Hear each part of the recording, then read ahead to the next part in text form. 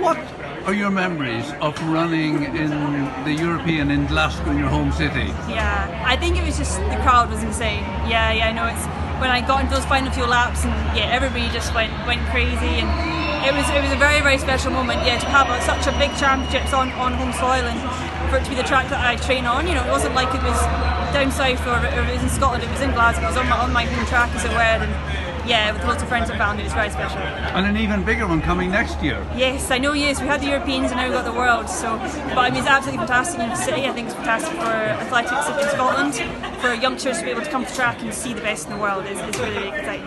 But it seems to have come at a great time for Scotland with you, Joyce, Jake, Eilish, and so on. Yeah. Do you feel part of a golden generation? Yeah, it's been the same. Like I think we've had we've had at least one, if not two, people on the podium at every championships for I don't know how long now from Scotland, which is which is crazy. You know, we've got we've got women, we've got men, we've got 5k, we've got 800, 1500. So it's yeah, it's very exciting.